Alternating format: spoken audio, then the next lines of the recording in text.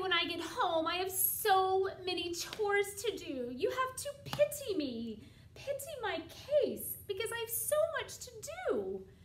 Do, do, pity my case in some lady's garden. My clothes to wash when I get home in my lady's garden. If you would believe it, I still have a really old-fashioned washing machine. You know, like it's actually a washboard. So when I get home, I have to wash my clothes on the washboard. Do, do, pity my case in some lady's garden. My clothes to wash when I get home in my lady's garden. Now, I don't just have to wash my clothes, but I also have to